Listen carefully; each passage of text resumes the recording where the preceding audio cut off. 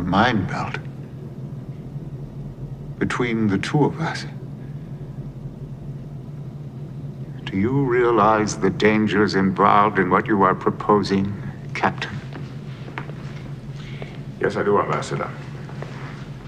But I also realize the potential benefits.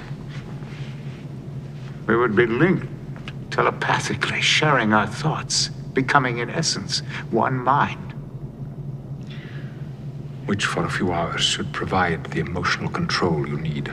In that time, you can meet with the Legarans and conclude the treaty. It is a generous offer, but I must warn you that while I would gain your stability, you would experience the fierce onslaught of emotions unleashed by my condition.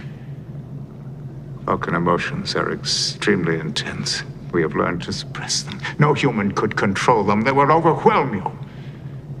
A mind meld can be a terrible intimacy. I cannot allow it. I'm aware of the risks. But it is the only logical solution.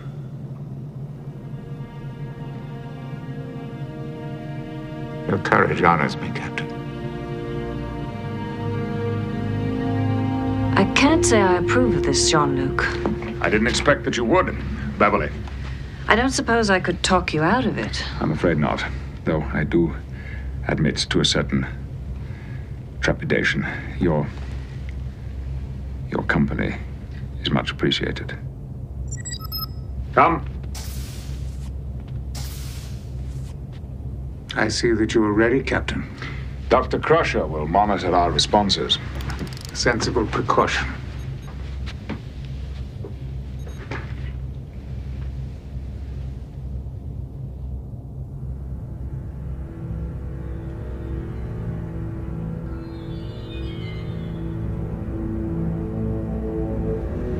My mind to your mind.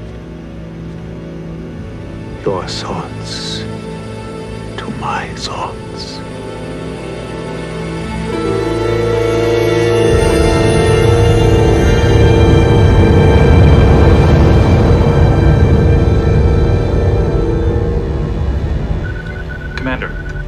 The Legarans are ready to beam aboard. Very well.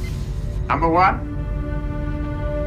please inform the Legaran delegation that Sarek of Vulcan is on his way to welcome them. Yes, Ambassador.